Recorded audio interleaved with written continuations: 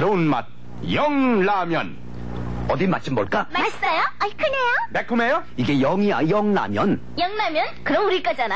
나도 좀 끼워줘 100원이면 된다는데 뭐 달콤달콤 영라면. 맛이 젊어 영라면. 영라면 불티나겠네 정보식품